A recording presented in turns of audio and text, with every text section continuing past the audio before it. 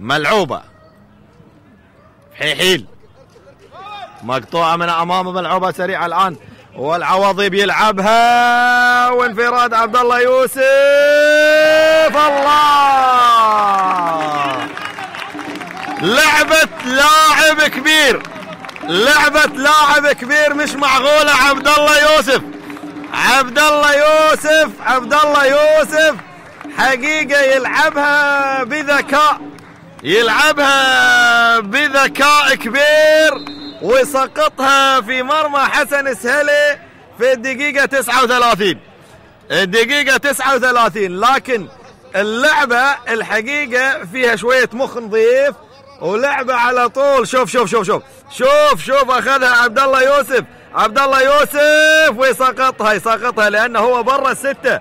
لكن هذا تفكير لاعب يعني ناشئ صغير في نادي الكويت أول مباراة له. شوف شوف يمر. ولما شاف حسن سهلي متقدم قال لك خلنا صيده وسقطها له. وأقول من لعبة الكبار وليست لعبة صغار يا عبد الله يوسف. برافو.